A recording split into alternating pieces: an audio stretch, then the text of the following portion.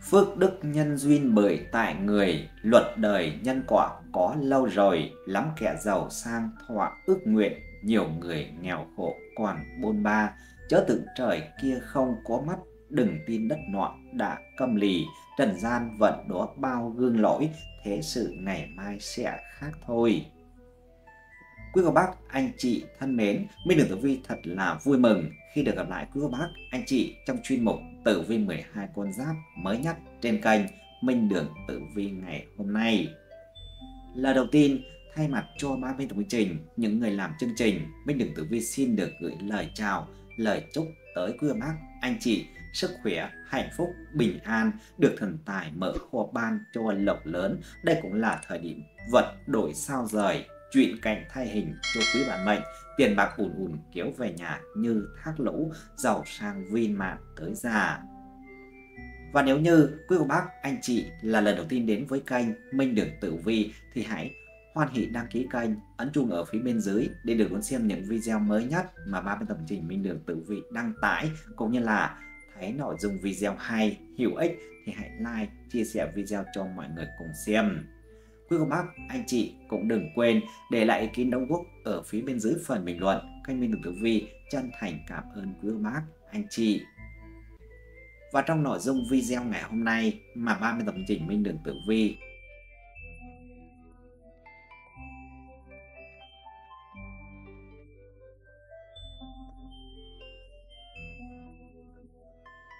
Báo Lộc, thần tài trả ơn, đúng 11 ngày tới, tuổi kỷ mùi sinh năm 1979, may mắn ngập trời, làm ăn chúng lớn, chúng số liên tiếp, tiền bạc ùa về, 100 tỷ cầm tay, giàu sang viên mãn tới già.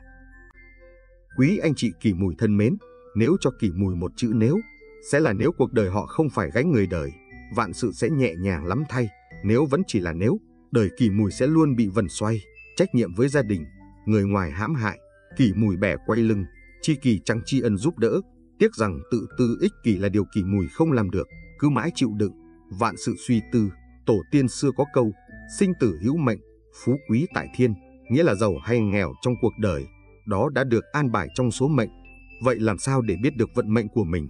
Trong sử sách đã ghi chép lại, rất nhiều bậc thầy tinh thông với thuật số tử vi đoán mệnh như Gia Cát Lượng, Lý Thần Phong, Lưu Bá Ôn, có thể dùng thiên mục mà trực tiếp nhìn thấy được quá khứ, hiện tại và tương lai, thậm chí đời trước, kiếp trước của người khác chính xác đến bất ngờ. Các nhà tiên tri tử vi có nói, vận mệnh của con người tuy đã là được định sẵn từ trước, nhưng không phải là không thể thay đổi được. Thế nhưng mưu sự tại nhân, hành sự tại thiên, nếu sự cố gắng của con người không thuận thời thế, thì rất dễ dẫn đến những lầm đường lạc lối. Cả cuộc đời phấn đấu nỗ lực mà vẫn xa cơ lỡ vận, lận đận trăm bể. Hiểu rõ điều đó, sau 963 năm ghi chép và kế thừa, giới tiên tri tử vi đã đưa ra luận giải dưới đây. Nếu tín chủ thuộc tuổi kỷ mùi sinh năm 1979, lắng nghe và chiêm nghiệm, sau này tiến chủ sẽ hiểu ra vận mệnh của mình đã được cải biến tốt lành. Và theo luận giải mới nhất từ tiên tri tử vi đã chỉ ra rằng, đúng 11 ngày tới, tuổi kỷ mùi sinh năm 1979, nhờ không ngừng phấn đấu nỗ lực mà được thần tài trả ơn, cuộc sống bất ngờ thăng hoa rực rỡ, không những sự nghiệp vững chắc, ổn định mà tài vận và đời sống tình cảm cũng hưng thịnh và hạnh phúc. Đặc biệt, đúng trong 11 ngày tới này, càng làm việc càng gặt hái được nhiều thành công, thần tài và quý nhân luôn sát cánh trong mọi nẻo đường, giúp bản mệnh gặp nguy hóa an, phùng hung hóa cát. Xin mời quý vị hãy cùng mình Đường Tử Vi theo dõi phần luận giải chi tiết tử vi qua video dưới đây nhé. Quý anh chị kỳ mùi thân mến, chẳng có vấn đề gì với việc anh chị đang đi chậm rãi, hoặc cuộc đời anh chị không được tiến lẹ, tiến mau. Chỉ cần anh chị không dừng lại, chỉ cần anh chị của hôm nay tốt hơn anh chị của ngày hôm qua, đấy đã là sự đang tiến bộ rồi. Anh chị kỳ mùi à, trải qua một năm giáp thìn đầy biến động với những vất vả gian truân, hẳn bất cứ ai trong chúng ta cũng đặt toàn bộ hy vọng vào năm mới giáp thìn này, mong rằng cuộc sống sẽ khấm khá hơn. Thế nhưng tử vi học có nói, trời sinh mỗi người mỗi số mệnh, không phải ai sinh ra cũng gặp nhiều may mắn, mà mọi thành quả đạt được đều do nỗ lực mà có. Đối với những người cố gắng không ngừng, họ luôn tin vào ngày mai tươi sáng, chỉ cần chăm chỉ thì đến một ngày nào đó được đền đáp xứng đáng. Kỳ mùi muốn gì thì phải lăn ra mà làm, cần gì phải nỗ lực mà chiến, giỏi thì được nhiều, không giỏi thì được ít, nên ngoài lựa chọn kiên cường mà tiến, bền bỉ mà bước thì kỳ mùi chẳng còn lựa chọn nào khác để cuộc đời được thăng hoa.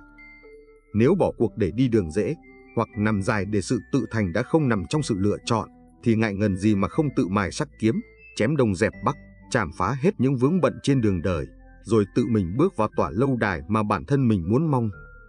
Tuổi kỳ mùi cuộc đời đối với tiền tài và sự nghiệp đào tạo không mấy khó khăn, có thể thành công liên tục làm cho cuộc đời có nhiều sung túc đặc biệt. Không bao giờ tuổi kỷ mùi mang vào cuộc đời một cuộc sống cực khổ về thể xác, mà nếu có thì chỉ là lo nghĩ về tinh thần nhiều hơn. Cuộc đời của tuổi kỷ mùi không sống quá cao sang quyền quý, nhưng cũng ở vào bậc trung của cuộc sống hiện tại, số có phúc đức và hưởng lâu bền cơ nghiệp. Xem tử vi tuổi kỷ mùi cho thấy, có thể nói rằng 11 ngày tới này là khoảng thời gian cực kỳ may mắn đối với người tuổi kỷ mùi. Kỷ mùi luôn cố gắng, nỗ lực, lại thêm sự giúp đỡ của quý nhân nên việc nào cũng đạt được thành tích đáng mừng, khiến nhiều người ngưỡng mộ.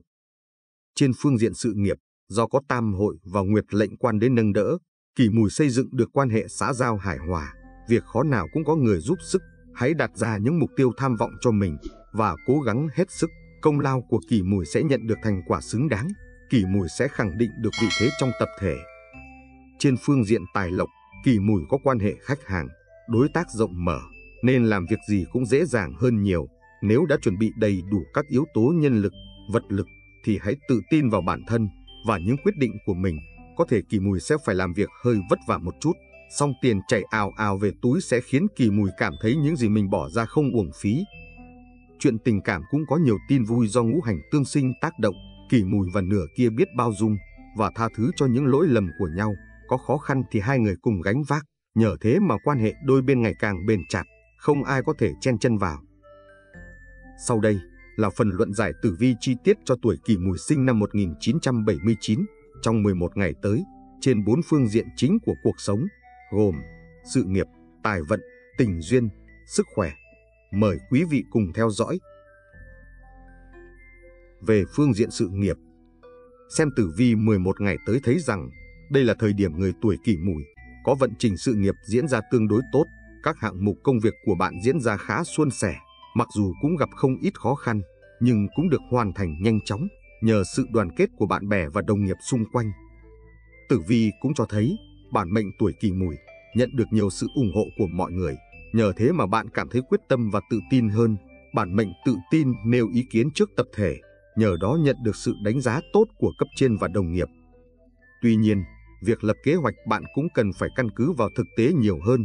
Bản mệnh không nên đặt ra những mục tiêu viển vông, vì như vậy chỉ tạo áp lực cho chính bản thân mình, chứ không thể giúp cho bản thân đạt được thành công như dự kiến. Thời gian này, làm việc gì thì người tuổi kỷ mùi cũng phải nhớ ý thức được vị thế và tiềm năng của mình, không nên chạy theo xu hướng, khi nào phát huy được thế mạnh thì bạn mới xác lập được chỗ đứng cho mình. Nguyệt lệnh lâm dưỡng, khuyên bạn mệnh tuổi kỷ mùi, hãy kiên trì trước những khó khăn và thách thức, không nên sợ vất vả, bạn càng bỏ ra nhiều công sức và tâm huy ê cho công việc thì thành quả bạn gặt hái được lại càng đáng mừng. Trong việc hợp tác làm ăn, bản mệnh tuổi kỷ mùi nên hợp tác với tuổi mậu thân và canh tuất. Hai tuổi này rất tương hợp với tuổi kỷ mùi trong đường tài lộc. Vì thế nên chọn hai tuổi này để hợp tác thì công việc sẽ dễ dàng gặt hái được nhiều thành công vang dội, nhiều tài lộc thu về. Tuổi kỷ mùi nói về quý nhân phù trợ của 12 con giáp thì sự cần mẫn, chậm mà chắc của tuổi kỷ mùi đều kết hợp được với sự thông minh nhanh nhẹn của tuổi mão, sẽ giúp công việc tiến triển thuận lợi hơn nhiều. Để tuổi kỷ mùi hợp với tuổi mão, tuổi ngọ, tuổi hợi, bất kể là trong kinh doanh, làm ăn hay hôn nhân gia đình đều rất thuận lợi. Theo đó, quý nhân phù trợ của tuổi kỷ mùi chính là tuổi mão, tuổi hợi và tuổi ngọ. Hướng may mắn là hướng đông. Một điều quan trọng nữa là người tuổi kỷ mùi được Phật bản mệnh là Phật Đại Nhật Như Lai hộ mệnh. Phật Đại Nhật Như Lai là vị thần tượng trưng cho ánh sáng và trí tuệ. Người tuổi kỷ mùi nên thỉnh hoặc mang bên mình bản mệnh Phật Đại Nhật Như Lai. Ngài sẽ mang sức mạnh của ánh sáng và tri thức giúp cho bạn vượt qua mọi khổ đau, bi ai trong cuộc sống, nắm bắt được những nét tinh hoa của vạn vật, dũng cảm tiến lên phía trước để đến với chân trời của ánh sáng và niềm vui, cũng như được quý nhân phù trợ, khiến cho sự nghiệp thành tựu, làm nên nghiệp lớn. Đeo hình tượng Phật Đại Nhật Như Lai sẽ giúp bảo trợ giúp cho tuổi kỳ mùi chống lại những luồng khí xấu, hóa giải sao hạn, sao xấu, tránh được tiểu nhân hãm hại. Ngoài ra, người tuổi kỳ mùi sẽ nhận được sự phù hộ của Ngài, một đời được bình an, gặp hung hóa cát, khi gặp điểm dữ sẽ hóa lành, khi mất đi được vãng sinh vào thế giới cực lạc. Những người tuổi kỳ mùi khi mang bên mình bản mệnh Phật Đại Nhật Như Lai, cùng lời cầu khấn thành tâm sẽ được giải thoát khỏi tam độc tham sân si, còn giúp hóa giải vận nạn, mang đến cho người tuổi kỳ mùi bình an, may mắn trong cuộc sống. Khi thỉnh Phật và hình tượng Phật bản mệnh, giúp bản thân tự liên hệ, tự hoàn thiện các phẩm chất nhân văn, sống hài hòa hơn mỗi ngày. Những quả phước thiện sẽ đè nén tất cả quả bất thiện, khác hoặc nếu quả xấu có hiện hành thì cũng trở thành nhỏ, không đáng kể, không nguy hại. Hãy duy trì hành thiện tránh ác, có thể thời điểm này bạn chưa được may mắn, nhưng nghiệp ác chắc chắn đã được giảm đi và khi tích lũy đủ nhiều thì hạnh phúc, bình an sẽ đến. Về phương diện tài lộc, bước sang 11 ngày tới này, người tuổi kỷ mùi có con đường tài lộc cũng khá tươi sáng. Bản mệnh có thể thu về một khoản tiền súng xính nhờ công sức của mình, cục diện ngủ hành tam hợp, hợi mão mùi giúp các kế hoạch làm ăn hợp, tác đầu tư của mệnh chủ diễn ra suôn sẻ. Đáng mừng hơn là thời điểm này này, nhờ quý nhân dẫn đường, chỉ lối, mà người tuổi kỷ mùi có thể gặp được đối tác có chung mục tiêu và rất đáng tin cậy. Nhờ thế mà chuyện to, việc lớn gì cũng trở nên hanh thông, thuận lợi, giúp tiền đổ về túi âm âm. Có điều, nếu người tuổi kỷ mùi có ý định mở rộng quy mô làm ăn hoặc bước chân vào một lĩnh vực mới nào đó, thì gia chủ không nên quá vội vàng. Hãy cân nhắc, tìm hiểu thông tin cẩn thận với các yếu tố tác động cũng như khả năng của chính mình để có thể đưa ra những quyết định đúng đắn. Trong 11 ngày tới này, người tuổi kỷ mùi hạn chế chạy theo số đông vì việc đó chưa chắc đã phù hợp với bản mệnh. Hãy phát huy thế mạnh của mình, chậm mà chắc nếu như muốn tìm chỗ đứng trên thị trường. Đối với những tuổi kỷ mùi làm công ăn lương, công chức, viên chức, nhân viên, công nhân, bản mệnh có một nguồn thu kha khá từ nguồn lương chính của mình. Ngoài ra, người tuổi kỷ mùi là người chăm chỉ, cần cù, hoàn thành xuất sắc công việc được giao. Các khoản thưởng nóng được cấp trên dành cho bạn là hoàn toàn xứng đáng. Đây là lời động viên tuyên dương của lãnh đạo đối với bạn để khích lệ tinh thần, để bản mệnh có thể tiếp tục cố gắng nỗ lực và cống hiến cho tập thể. Về phương diện tình cảm, gia đạo, trong 11 ngày tới thì vận trình nghiệp và tài lộc của người tuổi kỷ mùi có sự phát triển rõ rệt. Tuy nhiên, trong chuyện tình cảm thì lại không được suôn sẻ như ý muốn, dù là người độc thân hay đã lập gia đình, có lẽ bản mệnh sẽ đều phải đối diện với nguy cơ hoặc là những tổn thương nhất định. Người đã có đôi, có cặp, vợ chồng, không tránh được có những lúc mâu thuẫn, ý kiến với nhau, bản mệnh không nên nghiêm trọng hóa vấn đề, có gì khó chịu thì nên ngồi lại bình tĩnh và trao đổi với người ấy, có như vậy mới tìm được hướng giải quyết. Còn nếu như bản mệnh tuổi kỷ mùi luôn cường điệu quan điểm của bản thân, không chịu lắng nghe đối phương, thì đôi bên rất dễ nặng lời gây tổn thương cho nhau.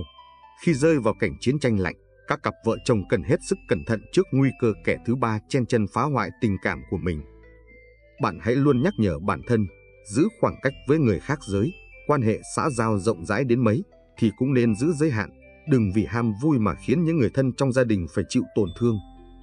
Đối với người độc thân, trên thực tế các mối quan hệ xã giao giúp cho mệnh chủ quen biết với không ít các đối tượng khác giới. Tuy nhiên, không phải ai cũng đáng tin cậy, bản mệnh không nên vội vã nghe theo lời ngon, tiếng ngọt của người chưa hiểu rõ, kẻo chuốc lấy tổn thương. Một số người độc thân cũng không nên đưa ra tiêu chuẩn lựa chọn quá cao, những hình mẫu thiếu thực tế cho việc lựa chọn nửa kia. Trên đời này, không có ai là người hoàn hảo, chính bản mệnh cũng như vậy. Vì thế hãy chọn người chân thành với mình chứ đừng mơ mộng thái quá nhé. Về phương diện sức khỏe, xem tử vi tuổi kỷ mùi sinh năm 1979 trong 11 ngày tới này cho thấy do chịu tác động của bạch hổ hung tinh nên sức khỏe của người tuổi kỷ mùi có dấu hiệu suy giảm. Thời gian này, người tuổi kỷ mùi cần chú ý khi tham gia giao thông cũng như khi vận hành máy móc, hạn chế những sự cố đáng tiếc gây bất ngờ xảy ra, gây hại cho sức khỏe.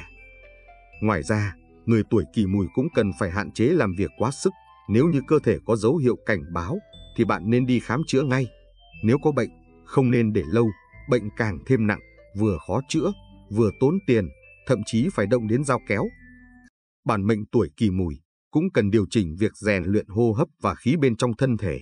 Hoạt động hô hấp của mỗi người đều do cá nhân tự chủ. Nhưng thông qua rèn luyện hô hấp có thể kiểm soát được dòng khí trong cơ thể. Đây là biện pháp dưỡng tâm và phát huy tác dụng rất tốt cho sức khỏe, đặc biệt là người cao tuổi. Dung mạo của con người Việc khí thịnh hay suy có ảnh hưởng đến sắc diện. Chẳng hạn như khí thịnh thì sắc mặt sẽ sáng sủa, có thần thái, có thể khiến sắc mặt trở nên trẻ đẹp hơn, cơ thể khỏe mạnh và tràn đầy năng lượng, đạt được hiệu quả hơn cả việc sử dụng mỹ phẩm. Tiếp theo là tử vi chi tiết tuần lễ vàng trong tháng tư âm lịch cho anh chị kỳ mùi. Hãy chú ý xem kỹ video để biết được vận trình hung cát, đừng bỏ lỡ bất cứ thông tin quan trọng nào để có kế hoạch cho mình nhé. Tử vi tuần 1, tháng 4 âm lịch, tuổi kỷ mùi sinh năm 1979. Căn cứ tử vi tuần đầu tiên của tháng 4 năm 2024 của 12 con giáp âm lịch, người tuổi kỷ mùi có cơ hội đón nhiều tin vui trên phương diện sự nghiệp trong thời điểm này. Cục diện tam hội và quan đế đem tới cho kỳ mùi nhiều thời cơ mà nhiều người mong muốn cũng không có được. Với người tham gia thi cử, tuyển dụng trong tháng này, kỳ mùi tự tin phát huy vốn hiểu biết của mình nên có thể gây ấn tượng tốt đẹp với giám khảo hoặc nhà tuyển dụng. Hãy tự tin thỏa thuận một mức lương hoặc một vị trí mong muốn, khả năng kỳ mùi được đáp ứng là rất cao. Với người làm công ăn lương, kỳ mùi hợp tác tốt với đồng nghiệp, nên công việc có thể hoàn thành nhanh chóng hơn so với dự kiến. Thậm chí kỳ mùi còn có thể là người chỉ đường dẫn lối, truyền cảm hứng cho bạn bè, đồng nghiệp mình. Những thành tích đạt được trong công việc có thể giúp kỳ mùi lọt vào mắt xanh của quý nhân. Đối phương sẽ giới thiệu thêm cho kỳ mùi nhiều cơ hội bồi dưỡng, rèn luyện các kỹ năng. Hãy khiêm tốn học hỏi, kỳ mùi sẽ tiếp thu được những kiến thức hữu ích, có giá trị cho sự nghiệp sau này. Tuy nhiên, theo tử vi tháng 4 năm 2024 tuổi kỳ mùi âm lịch, hung tinh thiên cầu rình rập thỉnh thoảng vẫn sẽ đem tới những rắc rối cho bản mệnh. Tuần này kỳ mùi nên tập trung vào nhiệm vụ, chớ nên khoe mẽ, ra vẻ ta đây khiến kẻ xấu nổi lòng tham, tìm cách cướp mất công lao của kỳ mùi, hoặc hạ bệ danh tiếng của kỳ mùi. Phương diện tài lộc cũng xuất hiện nhiều điểm sáng, dù làm trong lĩnh vực gì đi nữa, kỳ mùi cũng vẫn có thể kiếm tiền về đầy túi, dùng dình chi tiêu. Với người làm công ăn lương, những cống hiến cho tập thể giúp kỳ mùi nhận được một khoản thưởng nóng hậu hĩnh, thậm chí cấp trên còn có thể chủ động tăng lương cho kỳ mùi.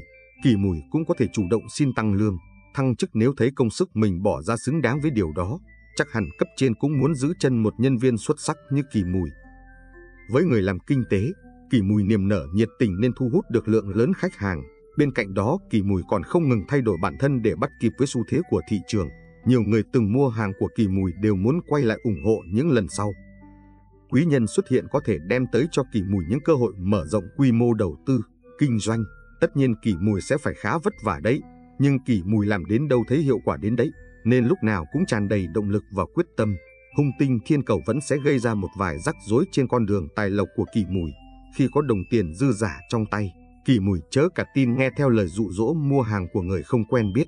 Kỳ mùi có thể mua phải những sản phẩm kém chất lượng, không được như lời quảng cáo theo tử vi tuần đầu tiên của tháng 4 năm 2024 tuổi kỷ mùi âm lịch, tuần này có nhiều cát tinh quy tụ, phương diện tình cảm của người tuổi kỷ mùi cũng hanh thông, thuận lợi bất ngờ, kỷ mùi được tận hưởng niềm hạnh phúc của riêng mình. Tình hình sức khỏe của người tuổi kỷ mùi nhìn chung cũng không có gì đáng lo trong tuần đầu tháng 4 này, kỷ mùi duy trì được thể trạng tốt, tinh thần tích cực, hăng hái, nên làm công việc nào cũng hiệu quả, đạt được kết quả như mong muốn. Tuy nhiên, đừng quá tập trung vào sự nghiệp, đến mức quên cả chuyện nghỉ ngơi. Kỳ mùi vẫn cần xây dựng cho mình lối sống khoa học, ăn ngủ đúng giờ, cân bằng dinh dưỡng, chịu khó tập thể dục thể thao. Như vậy thì kỳ mùi sẽ giữ được đầu óc tỉnh táo, có sức làm mọi điều mình muốn. Quý nhân, hợi, mão, tiểu nhân, tuất, thân, màu sắc may mắn, nâu, vàng, con số may mắn 25, 48, 75. Tử vi tuần 2 tháng 4 âm lịch, tuổi kỷ mùi sinh năm 1979. Xem tử vi tuần thứ hai của tháng 4 của 12 con giáp âm lịch, phương diện sự nghiệp của tuổi kỷ mùi được dự đoán có nhiều tiến triển tích cực nhờ tam hợp cục nâng đỡ. Ở thời điểm này, bản mệnh có thể mạnh dạn mưu sự, triển khai kế hoạch công việc bởi xác suất thành công khá cao. Khó khăn cũng sẽ có người đứng ra đỡ đần, chỉ bảo kịp thời do vận quý nhân cũng trên đà tăng cao. Bản mệnh là người đa tài, tháo vắt nên nhanh chóng tiếp thu được những kiến thức mới, hiểu được lòng của người làm lãnh đạo. Do đó, công việc của Kỳ Mùi tiến triển đi lên một cách đều đặn, dường như Kỳ Mùi chẳng hề gặp phải bất cứ vướng mắc nào. Nhờ thái độ làm việc hiệu quả và tích cực, không khó để được lãnh đạo công nhận và đánh giá cao. Một số người có thể được cử đi công tác hoặc nhận các dự án quan trọng, thay mặt cấp trên đứng ra tổ chức sự kiện lớn với khả năng giao tiếp tốt và sự tự tin của mình những chú dê kỳ mùi có thể nhanh chóng tạo dựng được những mối quan hệ hợp tác triển vọng.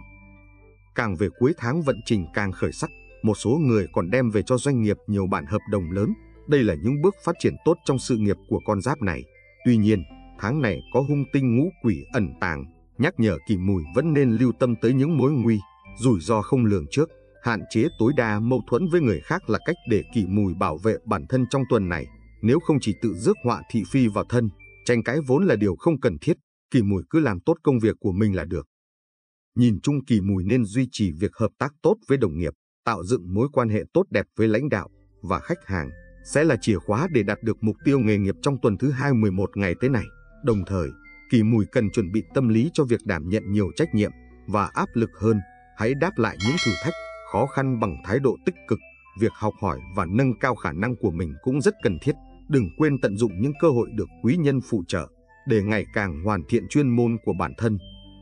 Tử vi tài lộc của tuổi kỷ mùi tuần thứ 2 11 ngày tới cho biết, cùng với sự nghiệp thăng tiến, tài chính của kỷ mùi cũng hứa hẹn có bước nhảy vọt. Tuần này bản mệnh không lo thiếu tiền, tài lộc dồi dào, dù là chính tài hay thiên tài, người làm công ăn lương hứa hẹn có thể ký kết nhiều hợp đồng, tiến hành giao dịch lớn nhỏ, đều diễn ra suôn sẻ.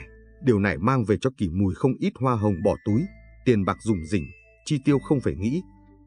Người làm đầu tư, kinh doanh trong tuần này cũng tràn đầy tự tin vào bản lĩnh của mình, dựa vào nhân duyên tốt mà bán hàng chạy như tôm tươi, lợi nhuận tăng vọt, bản mệnh cảm thấy vô cùng hy vọng vào tương lai và dám thử sức, dám dấn thân. Tài chính được cải thiện nhanh chóng, nhưng quan trọng không kém là vẫn cần phải quản lý cẩn thận. Việc đầu tư cân bằng thu chi đều cần đưa ra những quyết định sáng suốt, đồng thời kỳ mùi có thể nhận được lợi nhuận ổn định hơn bằng cách lựa chọn cẩn thận các kênh đầu tư vào phương pháp quản lý tài chính phù hợp. Một số người cũng có điều kiện giải quyết các khoản nợ trước đó, giải tỏa áp lực tinh thần. Tuy nhiên, người tuổi kỳ mùi nên chú ý kiếm tiền là giải pháp lâu dài. Đừng hủy hoại sự giàu có của mình chỉ vì những hành động đi đường tắt, đánh bạc, đỏ đen, bất chấp luật pháp. Tử vi tuần thứ hai tháng 4 tuổi kỳ mùi âm lịch về phương diện tình duyên cho biết chuyện tình cảm của những chú dê đón nhiều tin tức tốt lành trong tuần này. May mắn về tình duyên sẽ đến nhờ những nỗ lực của chính con giáp này. Nhìn chung, sức khỏe của tuổi kỷ mùi bình ổn trong tuần thứ hai 11 ngày tới này. Có điều, dưới ảnh hưởng của nguyệt lệnh lâm mộ, tuổi kỷ mùi có thể gặp một số vấn đề về sức khỏe, tuy không quá đáng ngại, nhưng lâu dài vẫn tác động xấu tới cơ thể kỷ mùi. Quý nhân, hợi, mão, tiểu nhân, tuất, thân, màu sắc may mắn, nâu, vàng, con số may mắn 19, 21, 32. Tử vi tuần 3, tháng 4 âm lịch tuổi kỷ mùi sinh năm 1979. Theo tử vi tuần thứ 3 tháng 4 của 12 con giáp âm lịch, sự nghiệp của người tuổi kỷ mùi trong tuần thứ 3 này được nhiều cát tinh cao chiếu nên khởi sắc rõ rệt, công việc triển khai thuận lợi, quan hệ tam hội mở ra nhiều cơ hội thăng tiến cho con giáp này. Nếu kỳ mùi biết tận dụng thời cơ đúng lúc, lại thêm nguyệt lệnh quan đế chống lưng, nên tháng này rất phù hợp để cầu chức cầu danh, hứa hẹn những chức vụ mới, vị trí mới đầy xứng đáng với nỗ lực đã bỏ ra. Tuần này cho thấy rõ tinh thần làm việc hăng say của những chú dê. Kỳ Mùi khá tự tin vào những việc mình đang làm. Chính vì vậy mà Kỳ Mùi chủ động làm việc chứ không cần ai phải nhắc nhở. Không còn là giai đoạn ngồi chờ việc hay phải đợi có người thúc ép nữa. Bản mệnh chủ động sông sáo hơn hẳn. Con giáp này cũng có định hướng rõ ràng hơn trong công việc. Tham vọng và mục tiêu rõ ràng là kim chỉ nam để Kỳ Mùi vươn mình mạnh mẽ về phía trước. Nếu biết phát huy điểm mạnh của mình, Kỳ Mùi hoàn toàn có thể mang lại lợi nhuận cho công ty và nhận được một khoản thưởng nóng từ đó. Tử vi tuần thứ 3 tháng 4 âm còn cho thấy các mối quan hệ xã giao của kỳ mùi tốt hơn trước rất nhiều. Nếu kỳ mùi biết cách khai thác lợi thế này, kỳ mùi có thể sẽ kết nối được với người có tầm ảnh hưởng, tìm thấy thêm cơ hội phát triển phù hợp với năng lực của mình. Đặc biệt, quý nhân vận tăng mạnh, sự chủ động sẽ khiến kỳ mùi gây được ấn tượng tốt với quý nhân cũng như cấp trên. Nhờ đó kỳ mùi được giúp đỡ để có thể gây ấn tượng tốt đẹp với cấp trên và Kỳ Mùi có thể được phụ trách những nhiệm vụ quan trọng, giai đoạn mới đảm nhận những công việc mới có thể khiến Kỳ Mùi lo lắng và có phần hoang mang, nhưng đừng sợ mình không làm được, chỉ cần Kỳ Mùi muốn thì có rất nhiều cách, đừng ngại xin ý kiến hay sự trợ giúp từ những người đi trước giàu kinh nghiệm. Có một điều cần lưu ý là vận trình quá vượng khiến tư duy độc lập của Kỳ Mùi trở nên tiêu cực, đôi khi Kỳ Mùi thể hiện ý kiến của mình một cách độc đoán, cứng nhắc, do đó Mùi sẽ cần học thêm tính khiêm tốn nhường nhịn thì công việc mới dễ dàng thành công. xem tử vi tài lộc của tuổi kỷ mùi trong tuần thú 3-11 ngày tới. Vận khí tăng tiến cũng giúp bản mệnh đón tin vui ở phương diện này, thuận đà công việc thông, không có lý do gì mà tài chính của kỳ mùi không khởi sắc theo đó. Thậm chí kỳ mùi sẽ không cần phải suy tính quá nhiều trong việc kiếm tiền, mà đồng tiền sẽ tự đến, quan đế đảm bảo sự nghiệp tiến triển ổn định. Con giáp này vẫn đang từng bước hoàn thành các kế hoạch hay mục tiêu của bản thân. Nguồn thu từ công việc chính cũng khá tốt, do con giáp này đạt được những thành tích nhất định nên có thể sẽ có khả năng được tăng lương thăng chức. Những ai ấp ủ mong muốn tăng lương cũng có thể mạnh dạn đề xuất với cấp trên. Nếu nỗ lực và đóng góp của kỳ mùi là xứng đáng, cấp trên chắc chắn sẽ không từ chối yêu cầu chính đáng này của kỳ mùi. Với những người làm kinh doanh buôn bán thì cũng nên nắm bắt thời cơ khi thần tài đang đứng về phía kỳ mùi. Nhờ tam hội cục nhập mệnh, hợp tác làm ăn trôi chảy, lợi nhuận rủng rỉnh, kỳ mùi hoàn toàn có thể tiến hành những dự định đầu tư hay mở rộng kinh doanh của mình theo kế hoạch vạch ra từ trước đó. Đôi lúc cũng cần một chút máu liều để thu về càng nhiều hơn. Nhưng điều đó không có nghĩa kỳ mùi bất chấp đâm đầu vào cả những lĩnh vực bản thân không có hiểu biết. Đừng đặt mình vào nơi mạo hiểm quá lớn, làm gì cũng cần để đường lui cho bản thân. Để tăng cường may mắn về tài lộc, tuổi kỷ mùi có thể trưng các loại cây cành vượng lộc như cây kim tiền, trúc phú quý. Trên bàn làm việc những cây này có tác dụng phóng đại năng lượng giàu có, thu hút tài lộc, thúc đẩy tài vật ổn định và bền vững hơn. Về phương diện tình duyên, tuần này cũng đánh dấu những biến chuyển tích cực trong chuyện tình cảm của kỳ mùi. Cục diện tương hội báo hiệu sẽ có đào hoa chiếu mệnh, mở ra nhiều trải nghiệm đặc biệt cho bản mệnh. Tử vi tuần thứ ba dự báo sức khỏe của tuổi kỷ mùi vốn không gặp phải vấn đề nào nghiêm trọng ở thời điểm này. Quý nhân, hợi, mão, tiểu nhân, tuất, thân, màu sắc may mắn, nâu, vàng, con số may mắn 29, 47, 45. Tử vi tuần 4, tháng 4 âm lịch, tuổi kỷ mùi sinh năm 1979. Tử vi tuần cuối cùng của tháng 4 của 12 con giáp âm lịch, Nguyệt lệnh quan đấy là cơ hội để con giáp tuổi kỷ mùi tự tin thể hiện các thế mạnh của mình. Kỷ mùi có cơ hội bộc lộ chúng trong cách giải quyết các vấn đề lớn nhỏ phát sinh. Tuần cuối này mọi chuyện sẽ diễn ra trôi chảy, ít trở ngại. Vì vậy hãy mạnh dạn áp dụng các ý tưởng của mình, đừng để ngày tháng trôi đi một cách uổng phí. Thực thần hỗ trợ cho các mối quan hệ trở nên hài hòa vui vẻ hơn, tình cảm đồng nghiệp, đối tác cũng đã tốt đẹp hơn. Chúng mang lại cho kỳ mùi niềm vui mỗi ngày đến công sở. Vì vậy nếu may mắn được làm cùng những người không tiết kiệm lời khen, kỳ mùi sẽ làm việc hết sức hiệu quả. Hãy tận dụng tuần này để hoàn thành thật nhiều việc quan trọng trong bảng kế hoạch của mình. Tử vi tuần cuối tháng 4 tuổi kỳ mùi âm lịch, bắt bạch nhập cung chính Tây, cơ hội kiếm tiền xuất hiện trước mắt.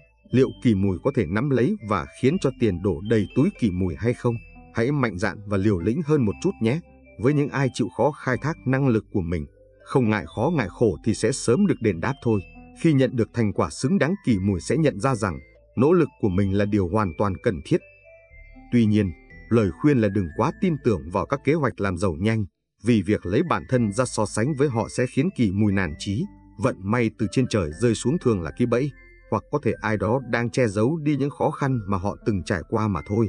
Ngoài ra, không nên thật thà để lộ rằng kỳ mùi đang có tiền, vì có những kẻ xấu tiếp cận với mục đích lợi dụng kỳ mùi đấy nhé. Tử vi tuần cuối tháng 4 tuổi kỳ mùi âm lịch, vận trình tình duyên của người tuổi mùi thuận buồm xuôi gió. Một gia đình êm ấm sẽ mang lại cho kỳ mùi nhiều động lực hơn trong cuộc sống. Tử vi tuần cuối tháng 4 tuổi kỳ mùi âm lịch chỉ ra một số vấn đề liên quan đến sức khỏe, như bị lây bệnh hoặc bệnh cũ tái phát. Việc này sẽ khiến cuộc sống của kỳ mùi trở nên phiền toái hơn. Quý nhân, hợi, mão, tiểu nhân, tuất, thân, màu sắc may mắn, hồng, vàng, con số may mắn 4729, 36.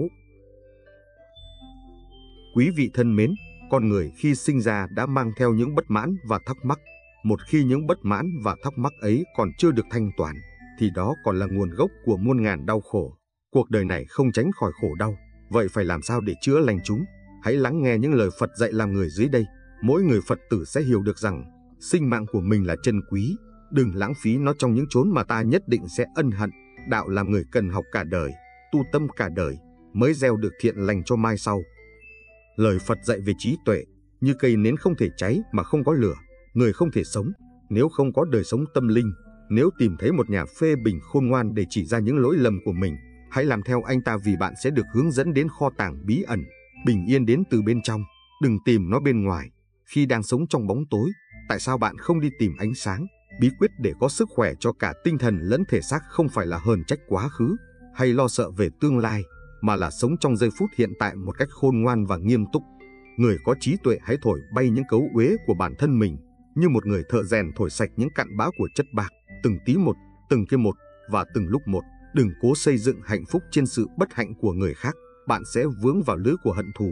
Người khôn ngoan có tính kỷ luật về thân, khẩu, ý, họ thực sự kiểm soát rất tốt những điều đó. Không ai có thể cứu ta ngoại trừ chính ta, không ai có thể và không ai sẽ làm thế. Chúng ta phải đi trên con đường của chính mình, kiên quyết rèn luyện mình để có được sự bình yên. Thiền định mang lại sự thông tuệ, không thiền định sẽ dẫn đến vô minh, hiểu rõ những gì dẫn dắt bạn hướng về phía trước, những gì cản trở bạn và lựa chọn con đường dẫn đến sự thông tuệ. Hãy cho đi ngay cả khi bạn chỉ có một chút, hãy vững như bàn thạch để không bị lung lay trước rông bão. Những người khôn ngoan cũng không bị ảnh hưởng bởi những lời khen chê theo cách đó. Đừng lãng phí một phút giây nào, những phút giây lãng phí sẽ khiến bạn đi thụt lùi. Nếu bạn quên niềm vui của cuộc sống và bị mắc kẹt trong những thú vui của thế gian, bạn sẽ ghen tị với những người đặt thiền định làm đầu. Sở dĩ người ta đau khổ chính vì mãi đeo đuổi những thứ sai lầm. Nếu bạn không muốn rước phiền não vào người, thì người khác cũng không cách nào gây phiền não cho bạn, vì chính tâm bạn không buông xuống nổi. Bạn hãy luôn cảm ơn những ai đem đến nghịch cảnh cho mình. Bạn phải luôn mở lòng khoan dung lượng thứ cho chúng sanh, cho dù họ xấu bao nhiêu, thậm chí họ đã làm tổn thương bạn. Bạn phải buông bỏ mới có được niềm vui đích thực. Khi bạn vui, phải nghĩ rằng niềm vui này không phải là vĩnh hằng. Khi bạn đau khổ, bạn hãy nghĩ rằng nỗi đau này cũng không trường tồn. Sự chấp trước của ngày hôm nay sẽ là niềm hối hận cho ngày mai. Bạn có thể có tình yêu, nhưng đừng nên dính mắc, vì chia ly là lẽ tất nhiên. Đừng lãng phí sinh mạng của mình trong những chốn mà nhất định bạn sẽ ân hận.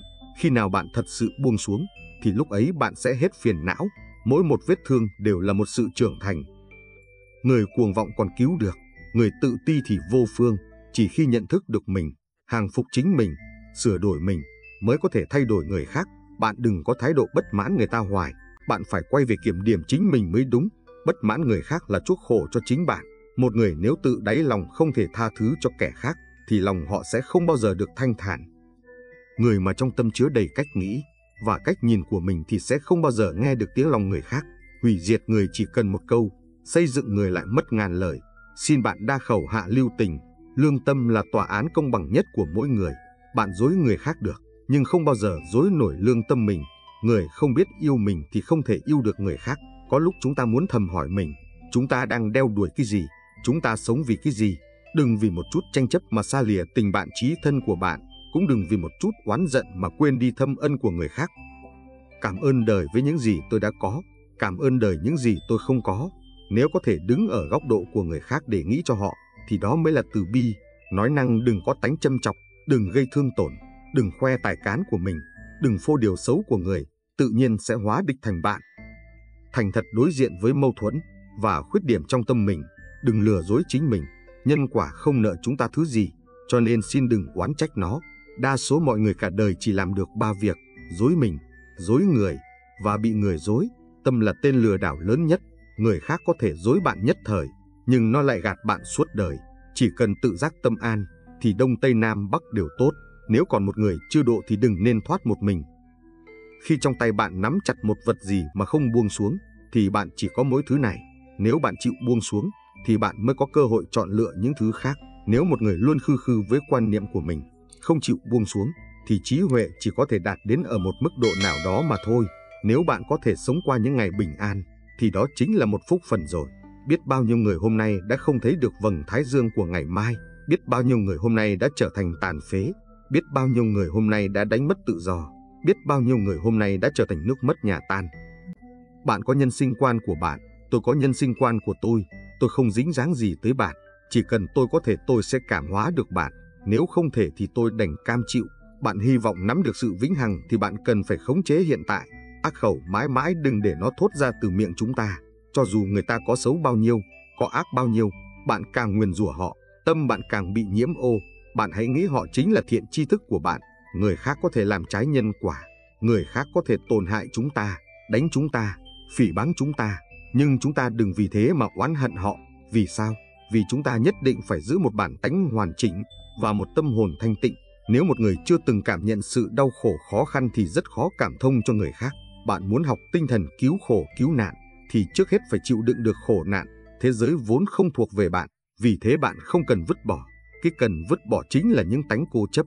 Vạn vật đều cung ứng cho ta, nhưng không thuộc về ta, bởi chúng ta không thể thay đổi được thế giới xung quanh, nên chúng ta đành phải sửa đổi chính mình, đối diện với tất cả bằng lòng từ bi và tâm trí huệ, lấy từ bi và ôn hòa để thắng nóng giận, lấy hiền lành để thắng hung dữ, lấy bố thí và lòng rộng rãi để thắng tham lam, lấy chân thật để thắng giả dối. Lửa giận hờn một khi đã phát ra, có thể đốt cháy và làm tiêu tan muôn mẫu núi rừng công đức. Hận thù diệt hận thù là điều không thể có, tình yêu diệt hận thù là định luật ngàn thu, không có con đường dẫn đến hạnh phúc, hạnh phúc chính là con đường. Quý vị thân mến, trên đây là những lời khuyên răn của Đức Phật dành cho những người muốn thanh lọc nhân tâm, giảm bớt phiền não bằng cách hướng đến Phật Pháp. Hãy hướng tâm trí mình theo ánh sáng của lời Phật dạy và hãy ghi nhớ rằng bình an chỉ có khi nó